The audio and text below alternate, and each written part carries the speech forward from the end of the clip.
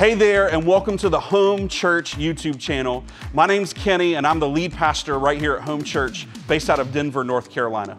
We're excited that you chose to join us for today's message, and I believe that God is going to use today's word to challenge and encourage you in your walk with Jesus. But listen, wherever you're watching from, all across this world, we invite you to join us by subscribing to this channel so that you get the freshest content that we produce every single week. But also, if you'd like to partner with this ministry, we'd invite you to do that as well. Visit our website at myhomechurch.cc backslash give to partner with us. We pray that God uses this message to challenge you today and to bless you as you hear the teaching of God's word. Well, hey, good morning and welcome to Home Church. My name's Kenny, and it's my honor to be the lead pastor here. And uh, I don't know if you've ever had a moment where you felt rejected in your life. Um, I remember when I was uh, in, in 10th grade, uh, I've told this story a, a, little bit before, but I was involved in marching band. Any other marching band geeks with me? Yeah, yeah, that's my people. It's my people. Um, and so I was in marching band, but I had, uh, I had aspirations to be even band geekier. Uh, and so I actually wanted to be the drum major all right? So I, I played uh, tuba and baritone, but I wanted to be the drum major. And so I remember uh, practicing and kind of doing all that I needed to do to get ready. And I went and I auditioned, and uh, I had this friend, uh, and her name was Jessica, and she were she and I were friends. And actually, be very honest with you, I had a crush on her. And, uh, and she too wanted to be a drum major. And so we would practice together. And, uh, you know, it, I thought we were both building relationship and that I was going to be a drum major. And it was all that stuff. So I finally go and go to the audition, and, and she goes, and we're talking afterwards, and I'm like, how'd it go? Good. And then, you know, we start building all these plans about what would it be like to both be drum majors together, and we're going to fall in love and get married. Now, you know, we just start walking down that, that whole path. And, uh, and then, um, so what they would do is they would put a little list outside the band room. It said drum majors, and, and there's the names. And uh, Jessica's name was at the top, and my name was nowhere on the list and that hurt.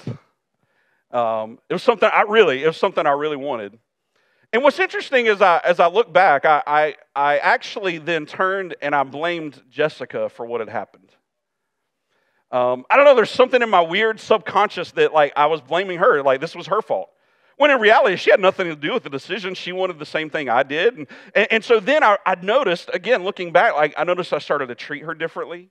I started to feel differently towards her. Uh, there was then kind of this weird, like, r- r- like I don't know, um, just rivalry and animosity that was that was there. And and interestingly, you know, so I, I, I felt rejected, but then I started to put my blame where it didn't belong. Um, maybe you can relate to that. Maybe you can relate to at least some of it in the way of uh, having felt rejected. Um, it, it's an interesting thing how we how we deal with these things. I, I think if you're being honest, all of us in some way, shape, or form have felt rejected in our life. Uh, for some of you, maybe it was a job that you really wanted that you got turned down for. Um, maybe it was a friendship or relationship that you desired that just kind of didn't, didn't work out. Um, there, there are other situations where maybe there was a person that you loved and you wanted to be with, and, and they just didn't see it. They just put you in the friend zone and said, Man, you're like my best friend. I could never date you. Or may, maybe you did go along that path and you actually got married, and then along the way, your spouse rejected you. Um, maybe there's a situation kind of like me. I mean, you can see uh, uh, not getting a drum major thing, but, but maybe you wanted to be on a sports team. Um, and you were not invited to be on that team, and or just in general, I, I, know that there are people who walk this earth, they just feel neglected. They feel rejected. They feel like they've not been included. They feel like they don't have a, a group or a clique or a, a family to kind of be a part of. And so I think many of us can, can truly understand in some way, shape, or form what it feels like to be rejected. The, the difficulty is that because most of us know what that feels like between people, unfortunately, especially in a room this size, there is a 100% possibility that there is at least one person in the room who not only has felt that way from other people, but that you carry the heavy burden of actually feeling rejected by God. It's a difficult thing. Um, there, there are things that you've experienced in your life. Maybe it was the, the loss of a, of a loved one.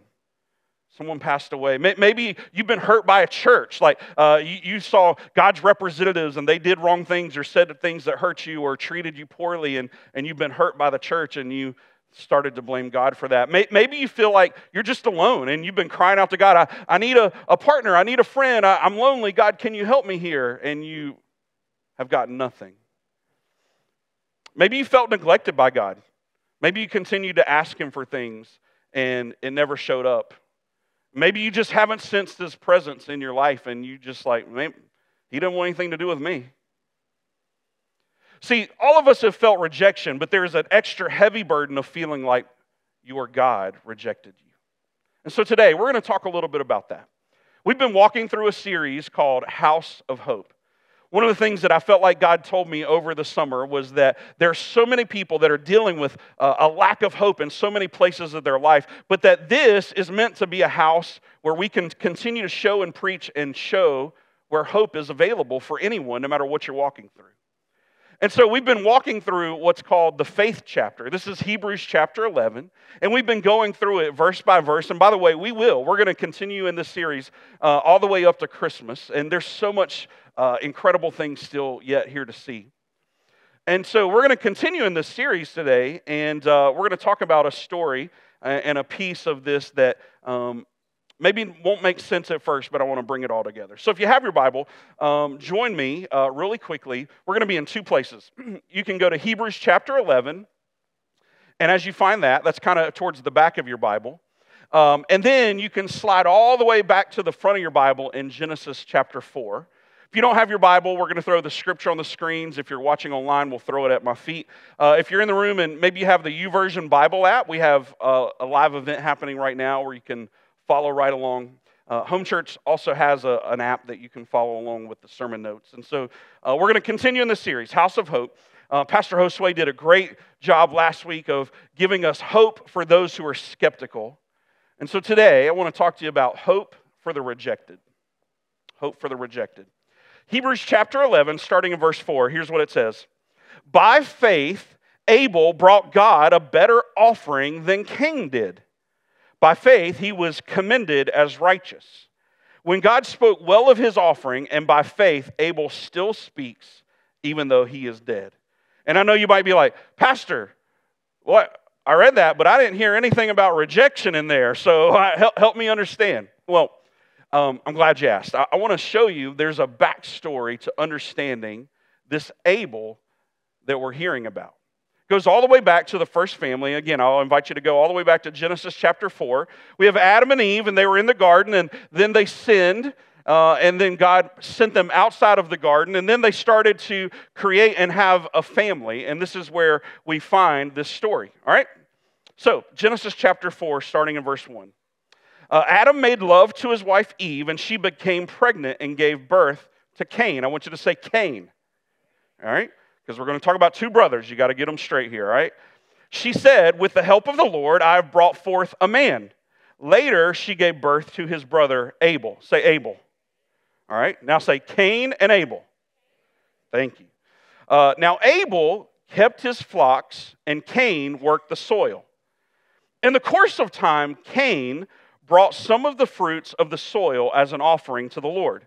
And Abel also brought some excuse me, brought also an offering, fat portions, from some of the firstborn of his flock. The Lord looked with favor on Abel and his offering, but on Cain and his offering, he did not look with favor. So Cain was very angry, and his face was, downcast. At first reading of this story, the truth is, is that I think many of us can probably relate to Cain we, we have these two brothers, and they both bring an offering to God, and yet the Bible says that, that God found and, get, and showed favor over Abel's offering and not over Cain's offering. Now, uh, I have a, a, brother, and his name is Kevin. Um, and so, one of the things that I tell people all the time is that Kevin is my mom's favorite. And it's, it's just true. You can ask my mom, and she'll straight up tell you, like, yeah, yeah. He's, and I don't know why, because I was a good kid. I thought I was a good offering, and yet my mom shows favor to my brother. I don't, I don't get it.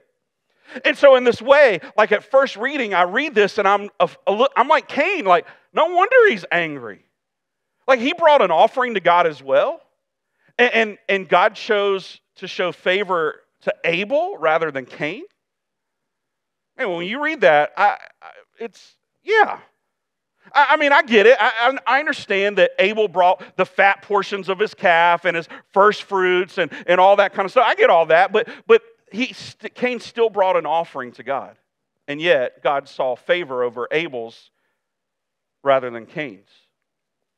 Again, many, many of you have felt this way. Many of you have experienced this feeling of rejection. You, you felt like you brought your best. You felt, felt like you had all of these things that you were ready to engage with, and you maybe to the relationship or to the job, and, and it just didn't work out. A boss didn't show favor to you. Someone chose someone else over you. Like many of us have experienced these things. But for Cain to feel rejected by God, man, that's a whole nother level. It's a whole nother level, right? I think many of you have probably experienced this. You were expecting, and you, you came to God and you were expecting a healing, and He gave it to someone else. You were expecting the, the big job and the big promotion, and somebody else got it. You were expecting that big project to pay off, and all of a sudden, you were going to get your due. Somebody else came up with the idea first. I think many of us have had these moments of rejection where we felt like we were treated unfairly. You felt rejected, and I, I just want to acknowledge it's understandable. It's understandable. But the thing is, is that as we look at this story, there's more than meets the eye here. But I think it's important that we look at how God then deals with this moment. Because I'm a dad. And uh, I try not to show favoritism to my children, but inevitably there's times where it happens. And I can almost imagine having this scenario work out where my kids all brought uh, a finger painting and I put one on the refrigerator and I put the other in the trash. That's a great Bluey episode, by the way. If you've missed that one, check it out. It's a good one. Um, preaching Bluey, and I'm just kidding. um, but I can imagine how one of my children would feel if they felt rejected by me. So, so of course, I'm not God, but I put myself in the, in the role of that father figure, and I start to think about that. And I want you to see how God responds to Cain in this rejection. Verse 6 Then the Lord said to Cain, Why are you angry? Wait, what do you mean, why am I angry? Right? He goes, Why is your face downcast? Are those not interesting questions for God who just chose one gift over another to say? There has to be more to this, right? Why, why would he respond in that way? W- wouldn't he understand why Cain would be upset? Verse 7 If you do what is right, will you not be accepted? But if you do not do what is right, sin is crouching at your door. It desires to have you, but you must rule over it. See, there's a critical thing that you and I need to understand about God. God's ways are higher than our ways, and his thoughts are higher and different than our thoughts. You see, our God's perspective on you and I and this world are different than what we have. The, the problem is, is that he sees things very differently than oftentimes we do. Because the reason he responds to Cain in this way is because Cain missed something. Cain missed something that already existed, and today I came to give you some hope because I think many times we've missed it as well.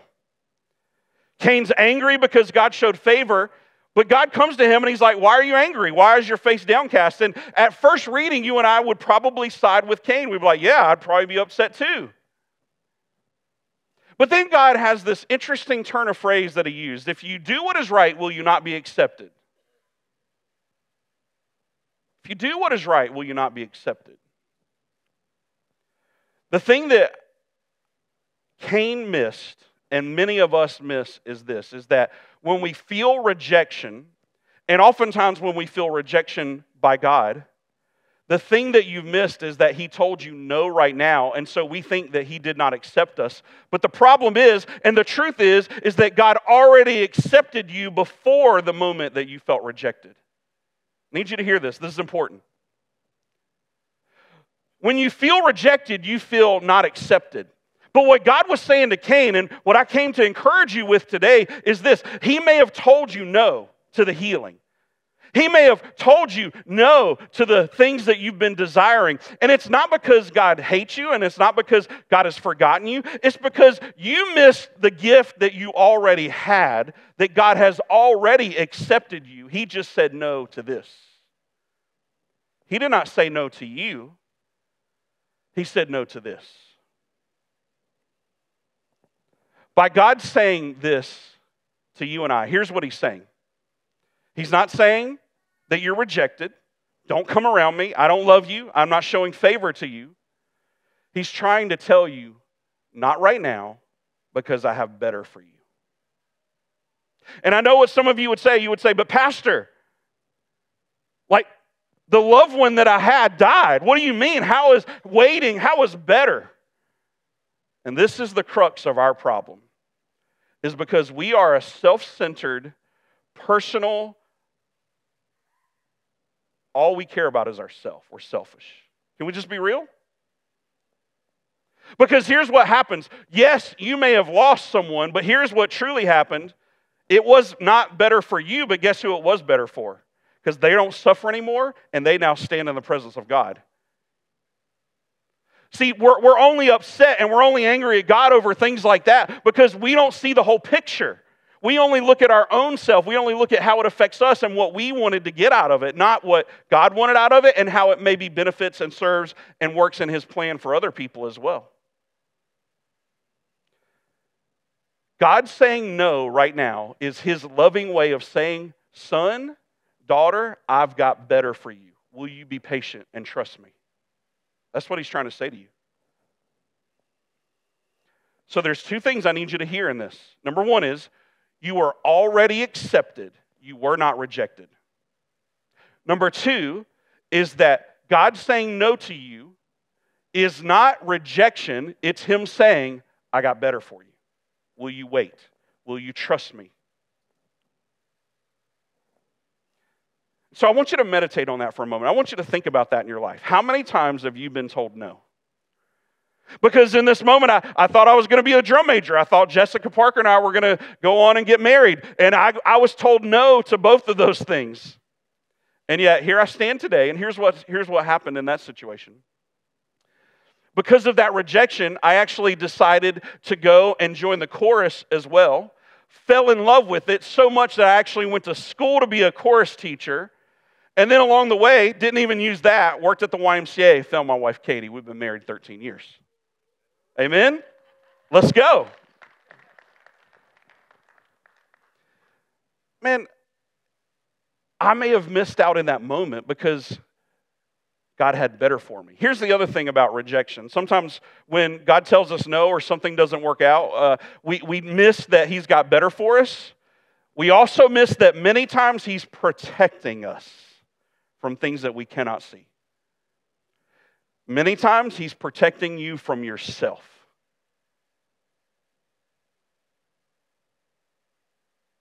We miss these things. The other part that we miss is in the greater picture, we misunderstand who God is and what that means for our life. See, His priorities are, are different than our priorities because in our world, the first is first, right? And if you're not first, you're what? You're last. Oh, Ricky Bobby, the gospel of Ricky Bobby, okay? But the Bible teaches a completely different perspective that God has for how things work out for people. The Bible says that the first shall be last, and the last shall be first. The Bible teaches that those who serve will lead, and those who lead will ultimately then serve. The Bible teaches that to have life, you must give up the life that you have. See, you and I, we're so busy getting caught up in all the things that we want that we don't look at the world in God's eyes. We don't understand the situations from His perspective. And then we respond from the rejection that wasn't even rejection, and we make our lives more difficult because we don't see it His way. How do I know? oh boy, watch how Cain responds. He missed it. Verse 8 Now Cain said to his brother Abel, Let's go out to the field. Now, My brother and I have had this conversation before. it ended a little differently, thank goodness. While they were in the field, Cain attacked his brother Abel and killed him.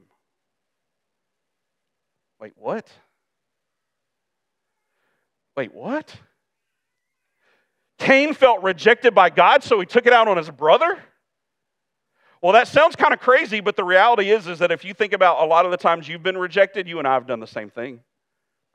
We don't take our rejection out on, in the place that it's truly meant to be. We take it out on people. You get fired from your job, you come home, you yell at your wife and kids. You, uh, you, you get turned down by the person you wanted to love, you come down and you come back and you shut it off with your parents. You don't want to talk to them. Like, why do we do this? Why do we respond in this way? Verse 9. Then the Lord said to Cain, Listen, this is right after he kills his brother. Then the Lord said to Cain, Where is your brother Abel? I don't know, he, replied. Am I my brother's keeper? So again, not only did he respond with violence because of re- his feeling of rejected, now he's starting to degrade. He knows that God knows all things and he's lying to his face. Why do we do that? Verse 10 the Lord said, and I can almost just hear it in this fatherly voice. Knowing when your kids have already messed up and you come to them and say, What have you done? Listen, your brother's blood cries out to me from the ground. Verse 11 Now you were under a curse and driven from the ground, which opened its mouth to receive your brother's blood from your hand. When you work the ground, it will no longer yield its crops for you. You will be relentless. Uh, you, excuse me, you will be restless, a restless wanderer on the earth. Cain said to the Lord, My punishment is more than I can bear. Today you are driving me from the land, and I will be hidden from your presence. I will be a restless wanderer on the earth.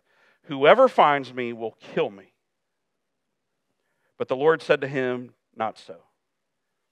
Anyone who kills Cain will suffer vengeance seven times over. Then the Lord put a mark on Cain so that no one who found him would kill him. So Cain went out from the Lord's presence and lived in the land of Nod, east of Eden. Cain, in his response to perceived rejection, took it out on his brother, killed him. And God, in his rightful way, could have killed Cain as well. Really, probably should have happened. And, and, yet he doesn't. He shows Cain mercy by allowing him to live, and then not only allowing him to live, marking him and protecting him from being killed by someone else. Man, so many times in our anger and our resentment and our feelings of rejection, we miss God's mercy and his protection in our life. Even when we do what is wrong, God still loves us and is looking after us. Here's what we miss, and here's what Cain missed.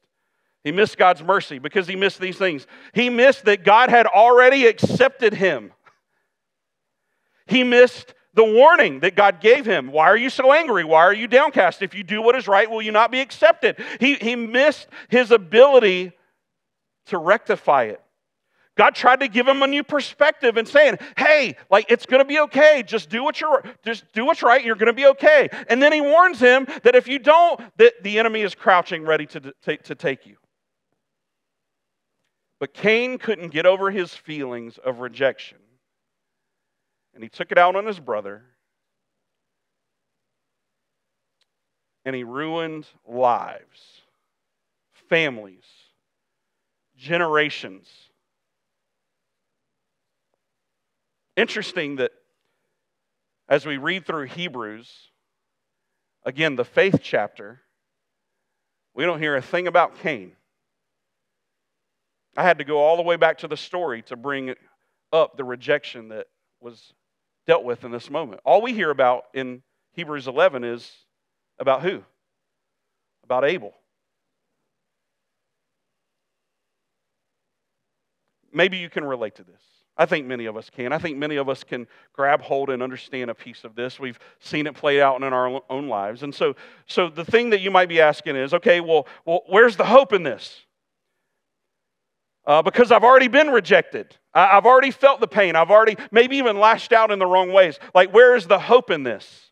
And it's the same hope that I'll give you that God gave Cain because he had already given him these things and he was asking him to do it differently than he did. And I'm just going to give you the same thing. I'm going to show you the hope for how you can respond even if you are rejected. But to hopefully give you some eyes to see that sometimes, especially in the eyes of God, it may not be rejection. It may just be a, hold on, son, I got something better for you. You see, we can connect to God because his son Jesus lived this exact same experience. He, but he gives you hope. And here's where the hope lies. Because Christ Jesus came, and we see this in Romans 5 8. It says this, but God demonstrated his love for his own love for us in this. While we were yet still sinners, Christ died for us. Do you hear that? Before you were accepted, before you were forgiven, before you had figured it out and gotten on the right track and gotten on the right path and seen God for who He is and given your life to Him, while you were yet still doing whatever you wanted to do in your own way, in your own time, even yet, while still that was happening, Christ died for you. That's how much He loves you. That's how much He wanted to show you that He is He accepts you and He wants to be in relationship with you. He also understands rejection. I'm going to run through these really quickly, but this is what Christ, our, our Savior, experienced. This is in Mark 12. Have you not even read the scripture? The stone which the builders rejected, this became the chief cornerstone. This is speaking of Jesus. The, the, the Pharisees and the leaders of the day rejected Jesus as Messiah. Matthew 8 and verse thir- uh, and 34. And behold, the whole city came out to meet Jesus. And when they saw him, they implored him to leave their region. Yo, you felt rejected? Imagine walking up into the town and be like, nah, homie, we don't want you here. You got to get. Not just like one person, the whole town. Man. Mark 6 and 3. Is not this the carpenter, the son of Mary, the brother of James and, uh, and Hoses, Joseph? That's misspelled in my Bible here. And Judas and Simon? And not his sisters here with us? Are they, and they took offense at him? We were talking about offense at Jesus. Isn't that the carpenter guy? He's not the Son of God. And then finally, John 1 and 11. He came to his own, and those who were his own did not receive him. Anybody even been rejected by your own family? Your own people? This is what Christ Jesus encountered and dealt with. He was rejected, and yet, while we were still sinners, he died for us. Even while we were still doing whatever we wanted to do, he paid the price for us because he loves you because you missed it. You felt rejected when he's trying to say, You've already been accepted. He accepts you. He just simply asks that you don't reject him. And so many times when we're hurt, that's what we do. We take our, we take our hurt and our anger and our pain out on God. And it's misplaced. Man, I wish I had a magic potion to take away the hurt and the pain that you felt from rejection. I wish I had that. I wish I had it for myself, man.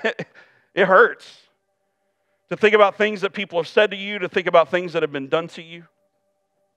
It's painful. I wish I could take that away. But the hope is not that the rejection that you've had will go away. The hope is in that now we understand how to deal with rejection as we move forward, right? Because Jesus we have the pathway. We have the pathway.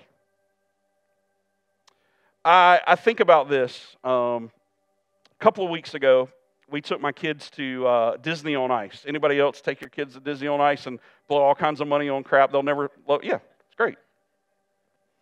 So, um, I, so I take my kids to Disney on Ice, and my mother goes, and she spoils my kids. She just buys them all kinds of junk, and, and they love it.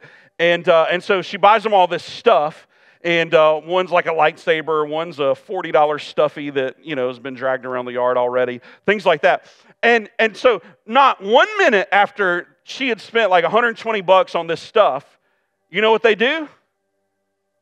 Hey, can we get some popcorn? Can we get some M&Ms? Can we get a Sprite? Like, they, they're just like never satisfied. Never, never satisfied. And, and so I had a conversation with them because we were then about to go to the beach, and I had a conversation with them about being okay with what you've been given, being happy with what you've had, and, and accepting what you've gotten, and not feeling like you've missed out because you didn't get anything more than what you've already been given. And I thought it was a really good parenting moment. I thought, man, they're going to get this. They're like six and four. They got it, right? Wrong. so this past week, again, I mentioned to you that uh, we were away at the beach. And, um, and so, man, here we go. We have, this happens so many times.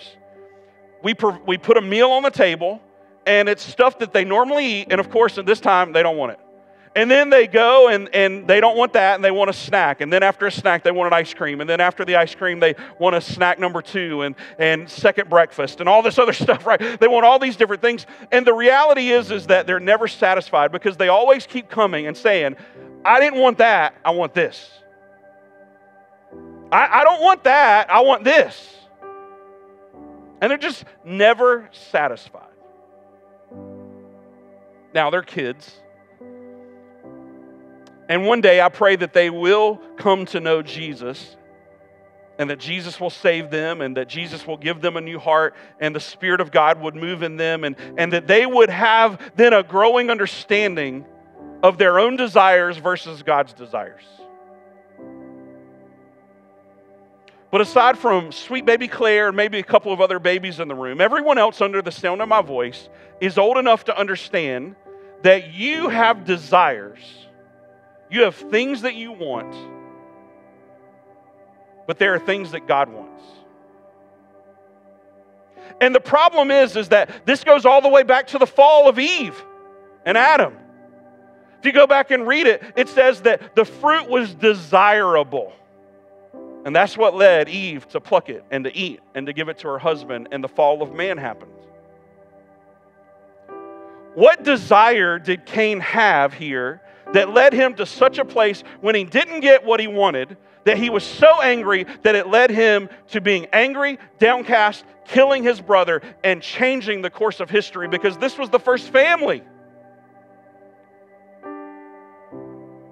And so today, I will just remind you of the wisdom that God gave Cain right there in that moment.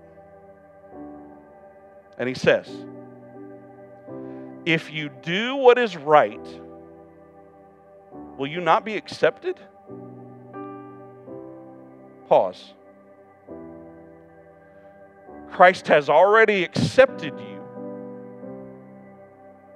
and what he's saying is, is as you walk this journey, the way you have and keep his favor is you just keep walking and doing what he asks you to do. He asks for you to have desires for him and his ways, even when it doesn't quite line up with what you want. And then the second part just drives it home. He says, but if you do not do what is right, sin is crouching at your door and it desires to have you. But you must rule over it. This is the hope that I can't give you, but Christ Jesus can. It's His word that the desires that you think your anger, your resentment, your frustration, your, your pain, those things that you desire that you need to rectify and get over and, and punish someone for. Those are desires that Christ Jesus says you actually have the power to rule over that. You have the power and the ability to move on. If you would just do what is right, will you not be accepted? But if you don't do what is right, sin is crouching at your door and it desires to have you, but you must rule over it. You cannot necessarily control all of the things that happen to you. You can't. The pains that you felt with aren't just going to magically go away. They're not. But how you respond is God's way of telling you how hope can be found. Your response matters. So I'll just simply ask you this What's your response? Because we didn't read anything about Cain in Hebrews 11, the faith chapter. We read about Abel. What the Bible tell us about Abel? The Bible told us that, that, that Abel brought a first fruit offering to God. See, here's the thing. When our first reading, we thought, oh man, Cain was shafted. Here's the reality our God is a, a God of clarity. It's not written in Scripture, but no doubt these two boys, God had given them an explanation of what He expected of them. And Abel did what was right, Cain did not. See, God had already accepted Cain. He wasn't rejecting him in this moment. Cain was rejecting God by not doing what he had asked. And then God, in His grace and mercy, comes back to him and says, Yeah, yeah, but it's okay. Don't be angry because I got a way, man. You're going to be fine or you're going to be accepted. Just do what's right. You're going to be fine. Abel has accounted to him righteousness, the Bible says. He has faith, the Bible says that we read about. And we'll read later in Hebrews 11 that he's part of the great cloud of witnesses that preach to faith. And then the Bible even says that Abel preaches faith, yet he is dead. Why? Because he did what was right. Because he did what was right. Today, I simply ask you this, this question how you respond to the things that have happened to you, God gives you a chance today to respond and to do what is right. What does that mean? How do I know what is right? Well, first of all, this is something we've been talking about all year, but we want to encourage you to have an everyday relationship with Jesus. When you do that, you will know and spend time in God's Word. And when you know and spend time in God's Word, you will know and go God's way. And then eventually, as you know and understand and go God's way, you will move from just being a believer to being a disciple, a disciplined follower of Jesus. So, how do I know what to do? I need to spend time in His Word. The Holy Spirit will convict me when I spend time doing what is wrong. It'll be made clear to me when I'm doing wrong. The question is will I stop doing it and do what is right? I want to ask you would you change your perspective today? The way that you see things? The way that we worry about ourselves so much that we miss God's other centered gospel.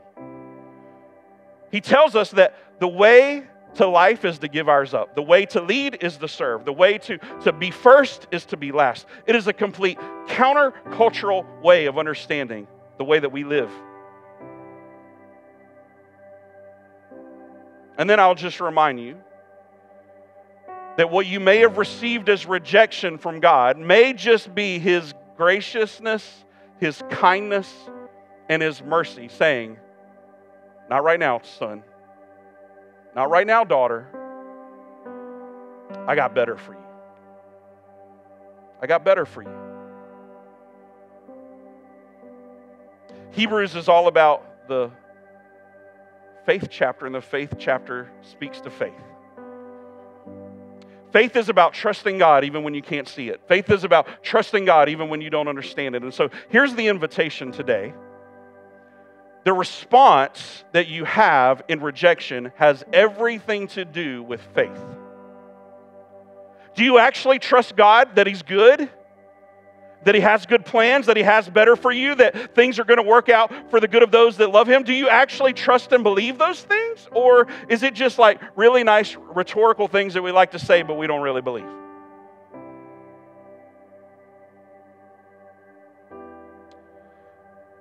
Faith is the evidence of things that we hope for, the substance of things not yet seen. See, we, we, what we're called to is to trust. Faith, trust.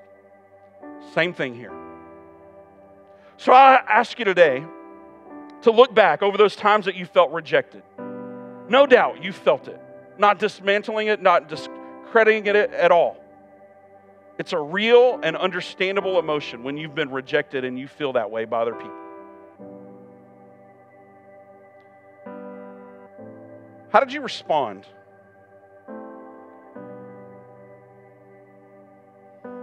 Now, I want you to take a moment and consider maybe those times where you felt rejected by God. I want to ask you, how did you respond?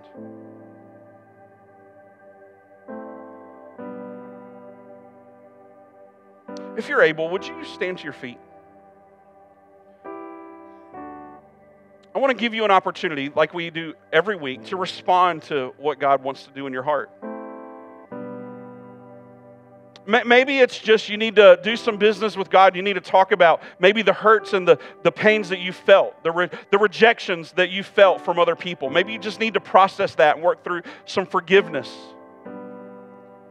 Man, I know exactly what that feels like. I was a 15 year old boy, and my dad walked out the family, uh, walked away from our family to go start another one.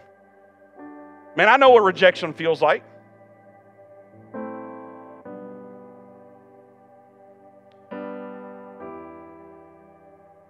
I just wonder if you've processed those feelings of rejection.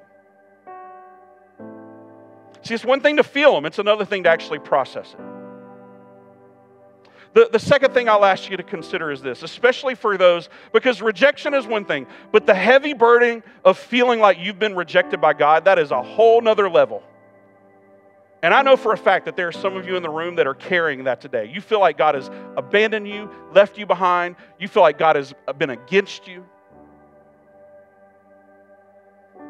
I want to just ask you for a few moments to consider a different, an alternative response and a different way of looking at maybe that feeling of rejected? Is it possible that He actually has better for you? Is it possible that He's been trying to protect you? From things or yourself? Is it possible that He's just waiting for you to wait on Him to actually trust Him? Is it possible that He actually does have good plans for you, but you can't see them because you're too angry? You can't hear about them because you won't talk to Him. You can't receive it because you have shut Him out. And so, over the next few moments, we're going to sing a song, and we've sang it a few times recently, but it's called Good Plans. And for some of you today, I think you can sing it and it's declarative, and you're like, yeah, God has good plans for me, and you know it right here, which is great. Amen. Like, sing, worship. But man, I know what it feels like to be rejected. And maybe today, as you hear this, this just needs to be a reminder from the Lord, speaking life over you, speaking hope over you, that He has not left you. He has not forsaken you. He does love you. He has accepted you. And He wants you to do what is right, and you'll continue to be accepted. He wants to protect you from sin and the enemy. God does have good plans for you. And so maybe it's just a posture of receiving God. Spirit, speak to me. Give me eyes to see, give me ears to hear. And for others, maybe you just need to take a seat and you just need to talk to God. Maybe the altar will be open. You're welcome to come and pray. I'll be standing right over here in this corner. If you need someone to pray over you, I'd love to do that. So I'll invite you to bow your heads and close your eyes. I want to pray over you, and then we're going to sing. God, we love you. And Father, man, sometimes it's hard. It's so hard to see things your way when we are so filled with our own desires and our own ways, God, it's difficult to see your hand at work when we only see our hands not having what we want in them. God, the pain of rejection can be debilitating. And so, God, I come to you right now and I pray to you on behalf of your sons and daughters, God, that you would bring forgiveness today that you would show mercy today, God, that you would um, give us God, give us understanding from your ways. God, that you would give us vision to see what you have for us. God, that you would help us forgive those who we've held grudges and animosity against. God, that you would help forgive us and help us forgive ourselves for the way we've responded when we've been hurt.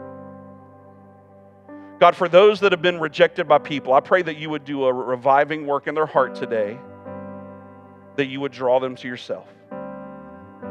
God, for those that have felt rejected by you, I pray that right now, over these next few moments, that you, your spirit would speak to them, that, that they would have no doubt that your presence is here and that you love them and that you are for them. God, I pray that you would reassure them, speak to their heart in these moments.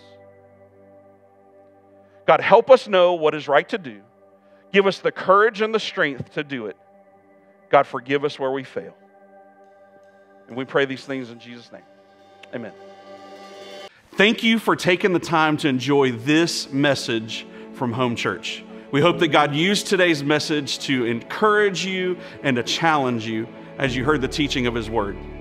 Listen, if there's anything in today's message that spoke to you, or if you asked Jesus into your life today, let us know. We would love to celebrate with you. Simply send us an email at hello at myhomechurch.cc and let us know that you made that decision today. Also, if today's message uh, impacted your life, uh, you can take a step forward and a step into supporting the ministry of Home Church by giving online right now at myhomechurch.cc. Again, thank you for watching today's message. Make sure you like and subscribe so that you get all of the fresh content from Home Church.